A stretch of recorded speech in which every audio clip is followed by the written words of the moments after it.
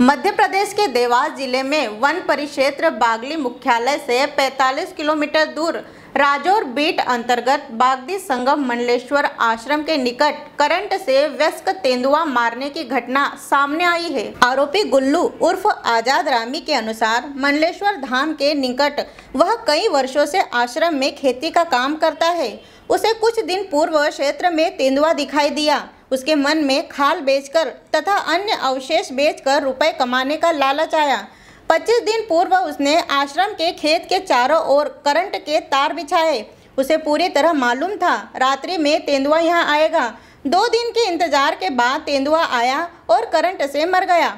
मरे तेंदुए की खाल निकाल कर अन्य अवशेष भी निकाले। शेष शरीर को वहीं आश्रम के समीप खेत में गाड़ दिया। पकड़े गए आरोपी के अनुसार मृत तेंदुए के कुछ अंग बैतुल निवासी मोहकाम नामक व्यक्ति को दिए।